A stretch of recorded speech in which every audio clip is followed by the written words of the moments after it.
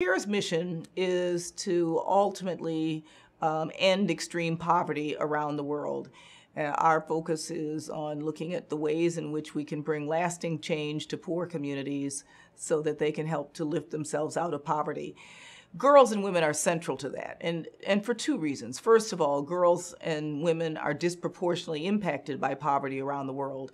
If you look at education or health uh, or access to income, girls and women are disproportionately left out in societies around the world. On the other hand, if you can change the life of a girl, if you can make sure that she gets an education, that girl will get married later, she'll have fewer children, her children will be more likely to go to school, they'll be more likely to survive um, childhood, and you're able to have intergenerational change. So we believe that by investing in girls and women, you get the best return on investment um, in our fight to end global poverty.